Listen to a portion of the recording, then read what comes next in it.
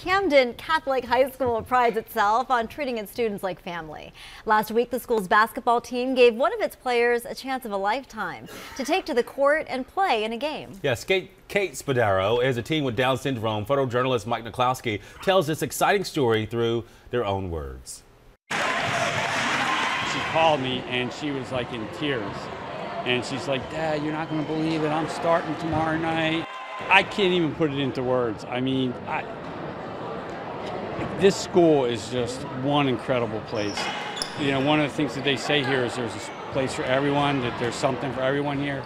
That's not just talk. I mean, it's it's reality. From the day Kate walked, Kathleen walked into the school, I mean, she was accepted with open arms.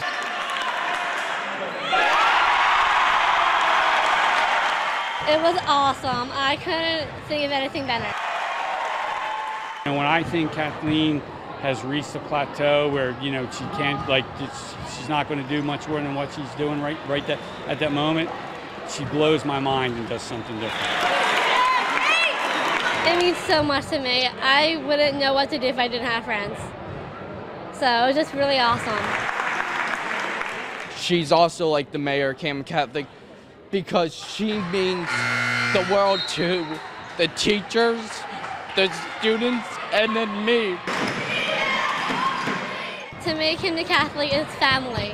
It's a home where everyone can be themselves. Just when I think I've seen it all, you know, something like this. You know, it just really, it really warms the heart. It really does.